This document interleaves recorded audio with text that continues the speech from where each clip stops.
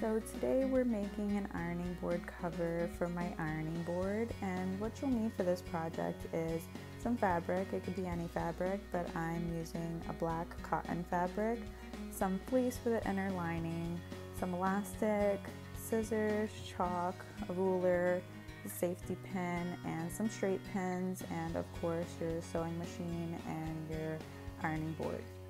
So I'm going to start by showing you how destroyed my ironing board cover is. My cat clawed at it and totally destroyed it.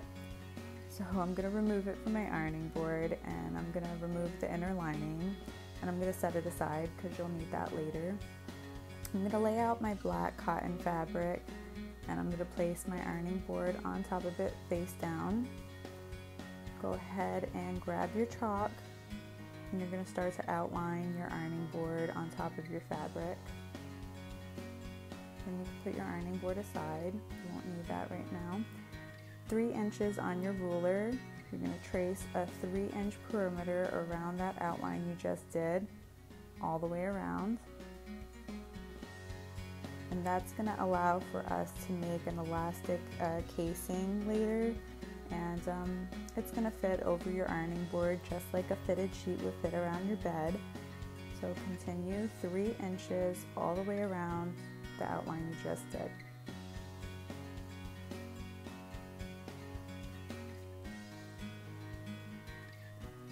And once you have your outline all outlined, you're going to go ahead and cut on the dotted lines with your scissors.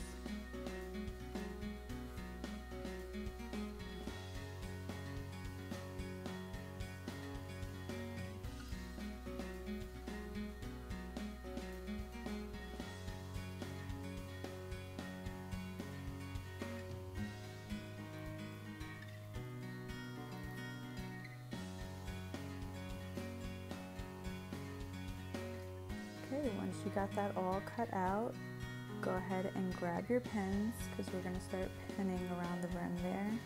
And I have um, some pretty thin elastic, so I don't need a big casing for my elastic to fit through, so I'm doing about a half an inch fold and I'm pinning around um, the entire perimeter. I am using my scissor to clip in the corner there so that um, when I'm pleating around those corners, it folds a little bit better and flatter, um, if that makes sense. But um, just do your best and go ahead and try to fold half an inch or an inch, depending on your elastic size, all the way around the rim there. And um, you're gonna leave a 1 4th gap at the end. Don't sew all the way around to the end. Leave a little gap because you're gonna need that for your elastic to fit through.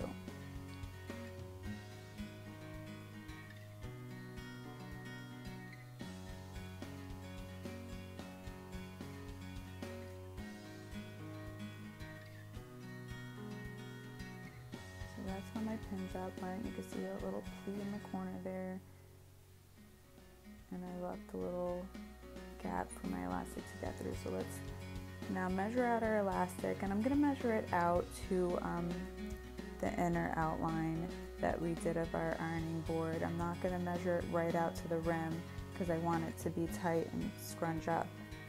So um, now take your safety pin and clip it to the end of your elastic find that little gap that you left open while sewing and go ahead and feed it through. And you're going to go ahead and feed it through the entire rim.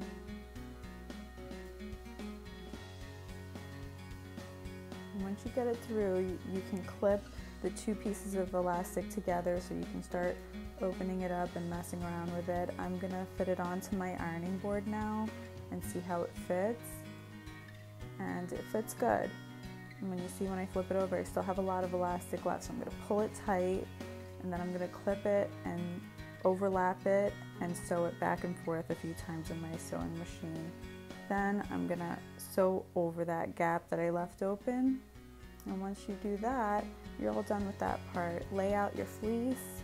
I have some old fleece here and lay out the old inner lining so you can have a perfect um, replica of the old fabric, make it thicker, double lined.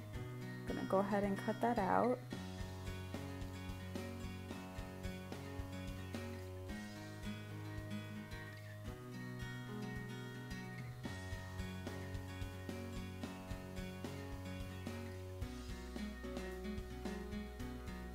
And once you get it all cut out, you can go ahead and lay your ironing board down, place it on top, make sure it fits well.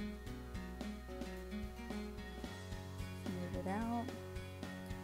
Take your new ironing board cover and place it over, make sure everything fits. You can do different colors, different styles, and you have a perfectly new ironing board cover. Look how beautiful, fits perfect. Thanks for watching guys.